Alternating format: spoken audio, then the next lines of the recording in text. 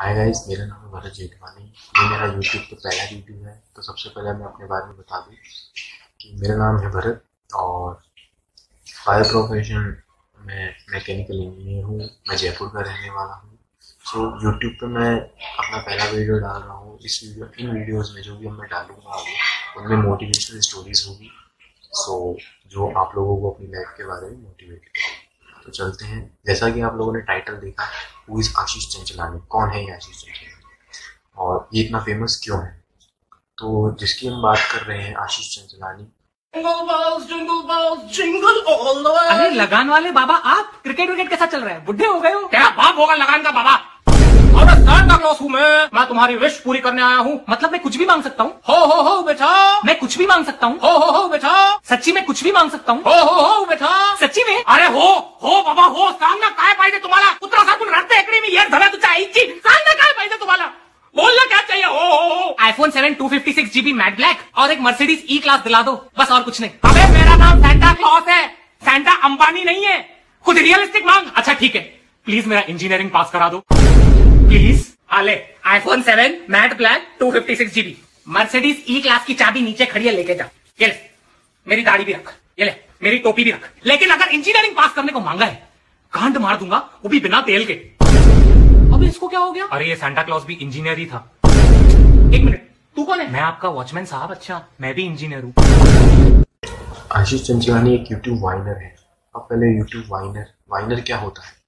वाइनर होता है कि एक पर्टिकुलर सिचुएशन पे आप एक वीडियो बनाओगे कि बहुत एक या डेढ़ मिनट की हो तो उसे वाइन्स कहते हैं।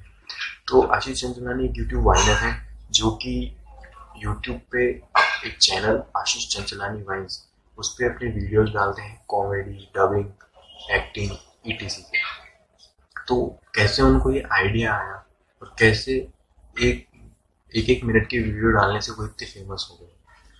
तो आइए देखते हैं क्या है उसकी जर्नी तो सबसे पहले सवाल ये होता है, आशीष को आइडिया आया कैसे कि उनको एक वाइनर स्टार वाइन्स का पेज स्टार्ट करना चाहिए? तो ये एक उनको आइडिया आया कि उनमें बचपन से ही एक्टिंग को लेकर बहुत ज़्यादा जोश था कि वो एक्टर बनना चाहते थे, क्योंकि उनके पिताजी थिएटर और फ़िल्म इंडस्ट्री से जुड़े थे। तो उन्होंने कई मूवीज़ देखी हैं, कई थिएटर्स देखे हैं, जिसमें हीरो आते ही क्लैपिंग होती है तो उनको एक फेम का और एक्टिंग का नशा चढ़ गया। तो धीरे धीरे वो बचपन से ही एक्टिंग करने लग गए बचपन में बहुत मोटे होने के कारण उनका लोग मज़ाक भी उड़ाते और वो एंटरटेनर के रूप में आ गए। तो धीरे धीरे जैसे वो बड़े होते गए तो टेंथ स्टैंडर्ड में आते ही उन्होंने अपने पिताजी को कह दिया कि dad I want to become a actor तो उनके पिता ने कहा, बेटा, जो बनना है बनो। अपन इस फ़ील्ड से हैं, पर इसमें स्ट्रगल बहुत है, जैसा कि हम जानते हैं। तो इससे पहले कि तुम कुछ करो तो तुम्हें अपनी स्टडीज़ पे ध्यान देना चाहिए। तो धीरे धीरे आशीष ने अपनी स्टडीज़ में लग गए ट्वेल्थ में उन्होंने साइंस चूज़ करी और फिर वो इंजीनियरिंग में आ गए। इंजीनियरिंग में उन्होंने सिविल ब्रांच ली तो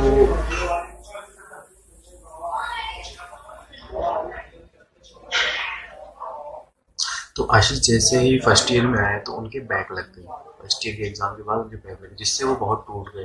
तो उस टाइम उन्होंने रियलाइज़ किया कि ये इंजीनियरिंग उनके लिए नहीं है। वो अपना जो चाहते हैं करना एक्टिंग वो उसमें पीछे रह गए।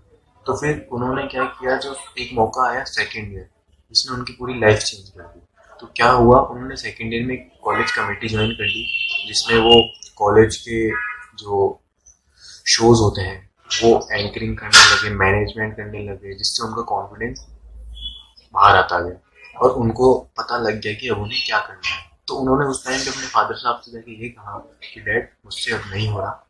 मैं एक्टिंग के लिए ही बनूँगा। तो उनके पिताजी ने कहा, बेटा, कर लो। ठीक है एक्टिंग भी कर लो और देख लो। तो फिर धीरे धीरे उन्होंने यूट्यूब पे एक पेज बनाया, जिसमें वो अपने जो भी एक्टिंग का कीड़ा है, वो बाहर निकालते तो वो एक मिनट का वीडियो बनाते जैसे कि आप लोगों ने अभी देखा ही होगा।